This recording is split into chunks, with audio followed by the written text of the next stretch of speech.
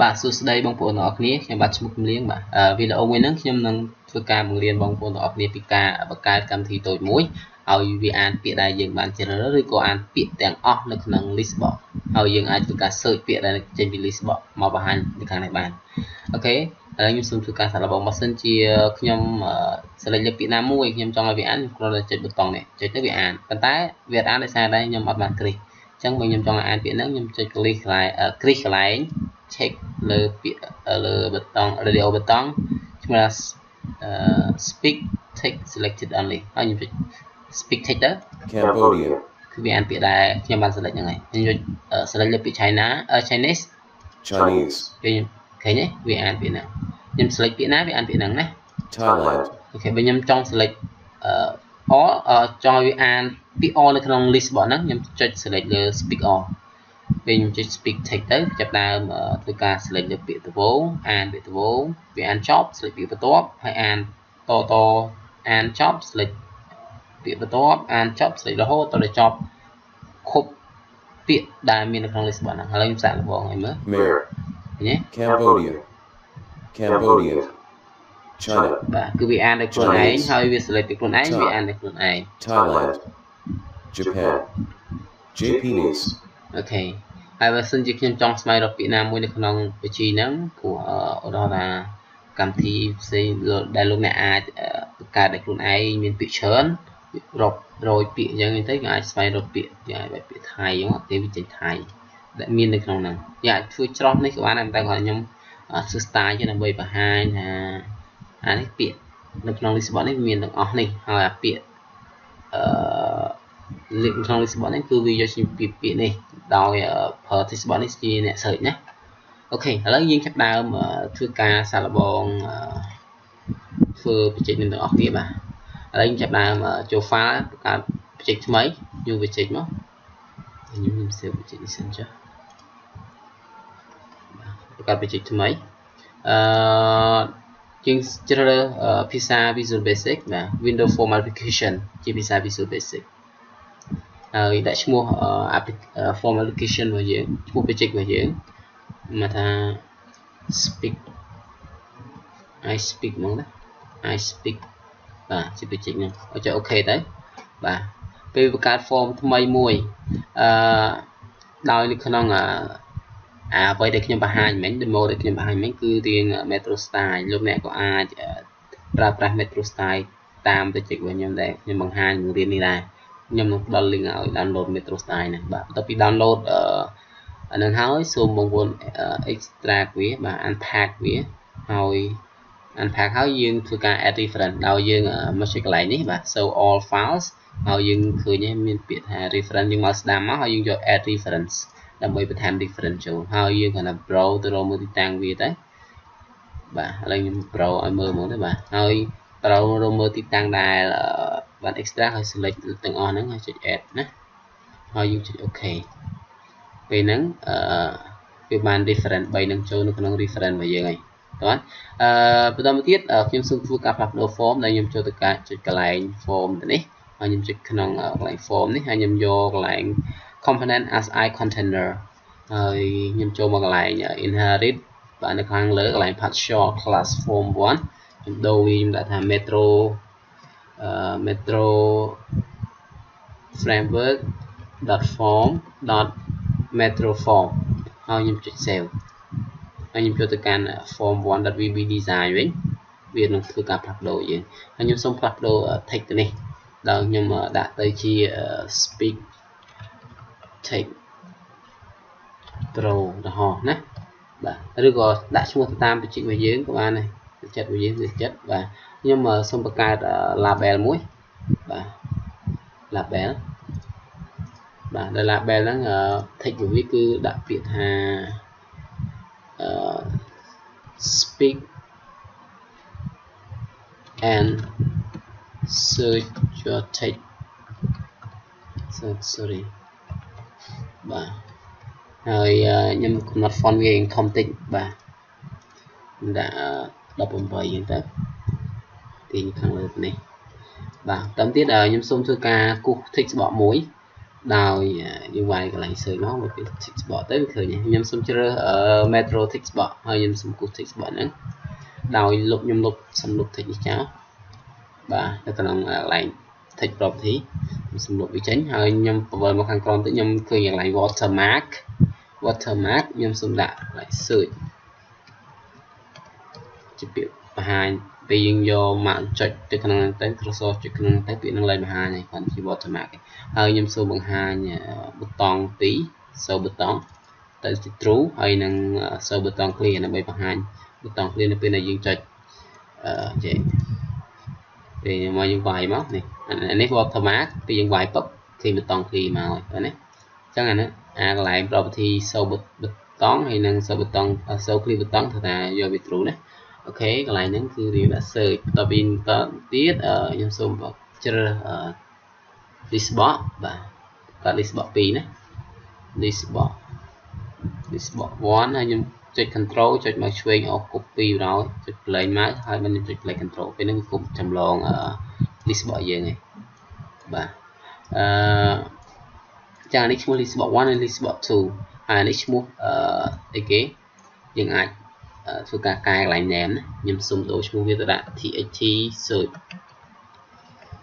អូខេហើយខ្ញុំសូមបង្កើត radio button ចំនួន2បាទដែលខ្ញុំប្រើប្រាស់ metro radio button ដែរខ្ញុំគាត់នេះចុច click ទៅហើយខ្ញុំសូមដូរពាក្យហ្នឹងដោយដាក់ថាកន្លែង text property ដាក់ថា read select text uh, select text text only អូខេហើយឈ្មោះវាយើងដាក់ថា od1 od1 oda ហ្មងបាទហើយខ្ញុំសូម copy អាហ្នឹង control ខ្ញុំចុចមកឆ្វេងអស់មកខាងក្រោមខ្ញុំដាក់ឈ្មោះថា od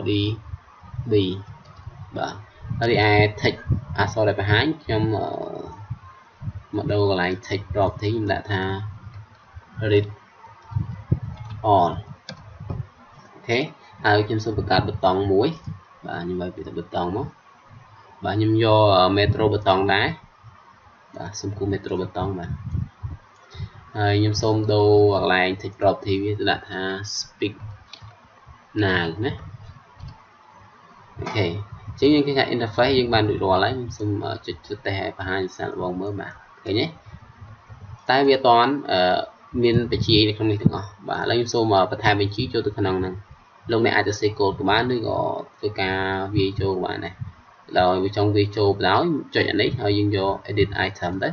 ហើយយើងវាយចូល enter វាយចូល enter បណ្ដោយឥឡូវមកថាពាក្យវាយពាក្យត្បូងវាយពាក្យខ្មែរ Cambodia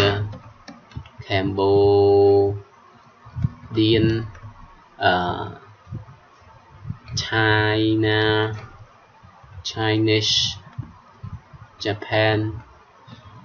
Japanese អីយ៉ាងទៅអូខេឥឡូវសូមយកទៅពីប្រមាណអញ្ចឹងទៅហើយយកអូខេពេលហ្នឹងវាមាន list ចូលទៅក្នុងបញ្ជី list box 2របស់យើងហ្នឹងបាទអឺបន្តទៀតខ្ញុំសូមបង្ហាញពីដំណើរការនៃកម្មអឺដំណើរការខ្ញុំបានបង្ហាញពីក្នុង demo ហើយឥឡូវខ្ញុំបានសរសេរអឺដែលលក្ខខណ្ឌនៅក្នុង form load ដោយឲ្យវាពេលវា load មកគឺឲ្យវា select លើពាក្យអឺ select លើអឺ OD A ហើយនឹង select អឺ item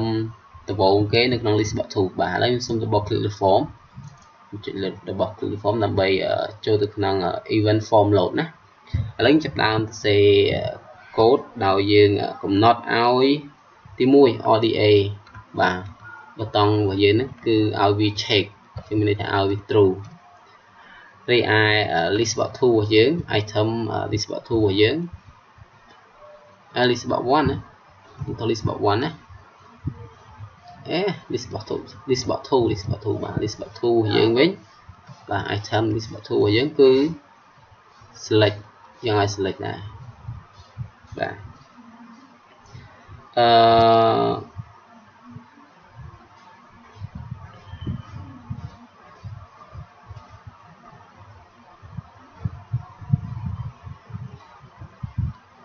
វា list box 2វិញគឺយើងយក select index ទី0ណាOK ពេលហ្នឹងខ្ញុំចុច start មកពេលហ្នឹងវា load select automatic OK select នេះ automatic នេះ select automatic បើយើងគាត់ចុចប៊ូតុង speak ណាក៏វាអានអាពាក្យហ្នឹងដែល select យើងស្រាប់ OK ឥឡូវជំហានបន្ទាប់គឺយើងនឹងពេលចុច button នេះឲ្យវាអានពាក្យណាដែល select នៅក្នុង list box 2ឥឡូវខ្ញុំសូមទៅបក click លើ button ហ្នឹងដើម្បីចូលទៅក្នុង event អូសុំទោសបាទខ្ញុំអត់ទាន់បានដូរឈ្មោះប៊ូតុងហ្នឹងឥឡូវខ្ញុំសូមលុបនេះចោលវិញអឺខ្ញុំសូមដូរឈ្មោះប៊ូតុងហ្នឹងខ្ញុំចូលទៅកាន់កន្លែង name បាទ property name ខ្ញុំដាក់ថា btn speak បាទហើយខ្ញុំសូម double click លើវាសាមីនេះបាទឥឡូវតទៅចូលក្នុង event ហ្នឹងមកអឺយើងចាប់ផ្ដើមទៅសេកូដាក់លក្ខខណ្ឌវាដាក់លក្ខខណ្ឌវាប្រសិនបើប្រសិនបើ ODA បាទចុច check បាទ true នោះយើងឲ្យវាធ្វើការមិនប្រសិនបើអឺអាមួយនេះនេះវា check អញ្ចឹងវាអានតែពីណាដែរដែលដែល select ក្នុងនេះតែបើ select អានេះវិញវាអានវា select ពីដើមហើយអានពីដើមរហូតដល់ចប់ណាអូខេឥឡូវ កូដហ្នឹងគឺយើងចាប់ដើមឲ្យវា speak ឥឡូវខ្ញុំសូមប្រកាសអញ្ញត្តិមួយ dim បាទប្រកាសអញ្ញត្តិឈ្មោះថា speech speech ជា object បាទអញ្ញត្តិនេះជា object ដោយឲ្យវាជាប្រកាសជា object គឺកើត object ថ្មីមួយកើត object ថ្មីមួយដែល object នេះឈ្មោះថា sapi.s ដូចជាចង់បាទ spy ទៅហើយបាទ spy ណាអូខេយើងកើត object នឹងតើកើត object យើងចាប់ដើមហៅ object នឹងមកដោយយើងហៅ object នឹង speech .speak បាទឲ្យវាអានម្ដងហើយអានអានពាក្យដែលចេញ item ពី list box 2ណាអញ្ចឹងមានន័យថា list box 2 dot uh, selected item dot to string OK បាទឥឡូវខ្ញុំសូមចុច start ដើម្បីធ្វើ test OK ខ្ញុំចុចអាហ្នឹង Mayor, វាអានពាក្យហ្នឹងដល់ខ្ញុំចុចទៅពាក្យនេះ Cambodia, វាអានពាក្យនេះខ្ញុំចុចអានេះ Chinese, វាអានពាក្យនេះ OK តោះណាណាបាទឥឡូវសូមបន្តទៀតផ្ទុយទៅវិញបើវាស្ទ្រុពិនិត្យនោះវិញអញ្ចឹង elif បាទ elif oda odb វិញដល់ check ស្មើ true វិញ ស្មើ true នោះបន្តបន្តមកទៀតយើងនឹងឲ្យលក្ខខណ្ឌគឺវា select អាន select ឲ្យអានពាក្យដំបូងហើយវាអានចប់ select ចប់អានពាក្យ select ពាក្យបន្ទាប់ហើយអានពាក្យបន្ទាប់រហូតធ្វើដល់គ្រប់ពាក្យនៅក្នុង list ហ្នឹងបាទអញ្ចឹងយើងត្រូវការបង្កើត loop មួយបាទដោយយើងបង្កើតអាញាតមួយមកដែលជា index របស់អឺ item នៅក្នុង list ហ្នឹងបាទអញ្ចឹង for i as integer ស្មើ0ស្មើ0ហើយចាប់ដើមពី0រហូតដល់អឺវារាប់រហូតដល់គ្រប់បាទ list box លើ item account ដកមួយចេញ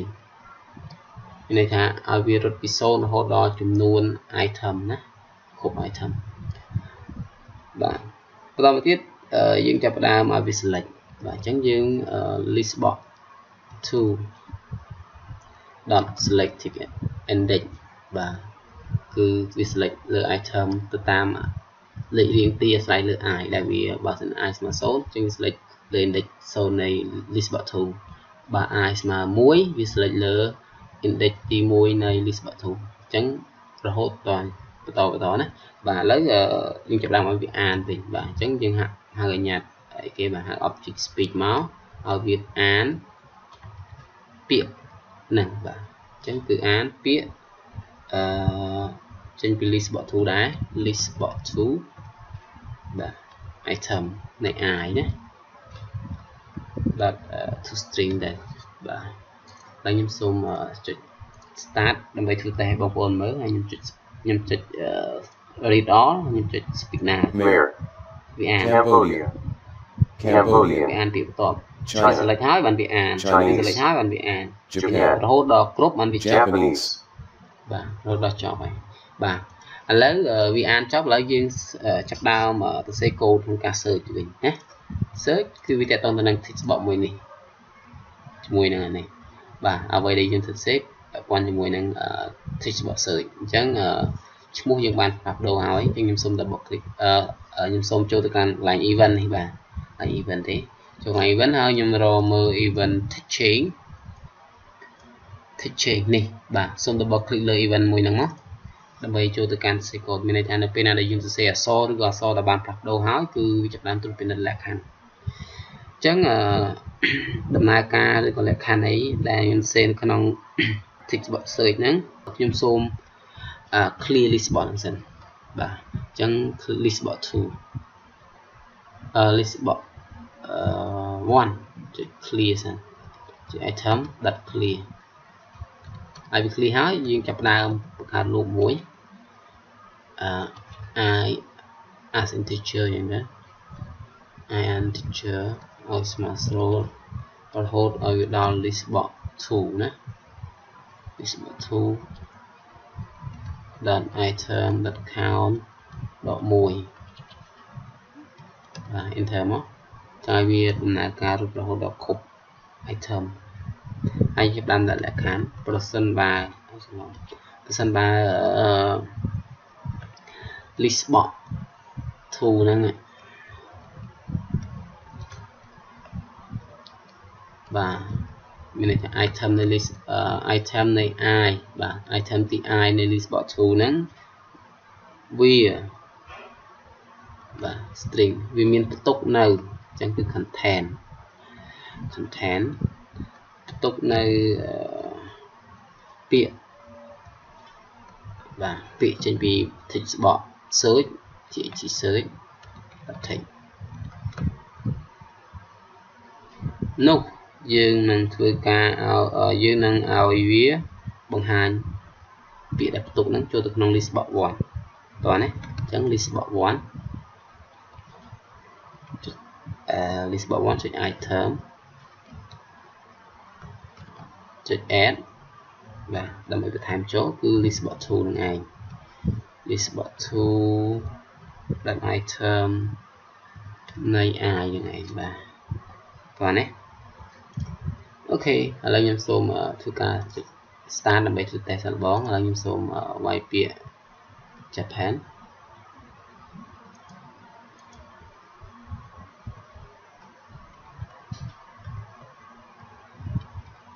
នេះ Japan cam body អឺ